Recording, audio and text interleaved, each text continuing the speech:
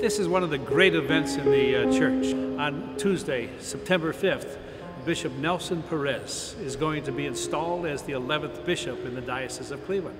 The church is going to be packed. There will be a couple hundred permanent deacons, and there will be 300 or more ordained priests, and there will be at least 50 bishops coming.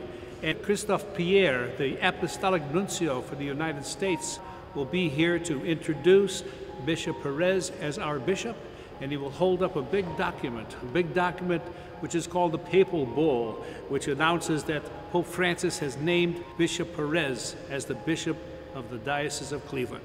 And after reading the document naming him the bishop of the diocese, we'll lead him here to this chair, Episcopal chair, the ex cathedra, the cathedra of the diocese, where only the bishop sits.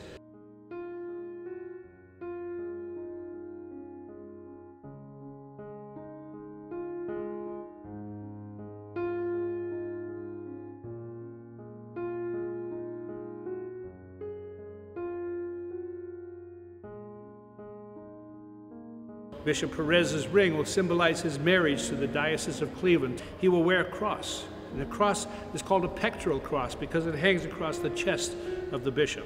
On his head, there will be a beanie, like you might say. It's called a zucchetto. Bishops wear a purple zucchetto.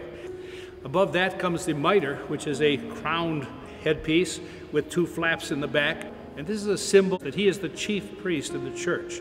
He walks with a crozier or a staff which symbolizes the fact that he is the shepherd of the church. So it's something that uh, we've experienced before, but it's something that we always cherish and look forward to.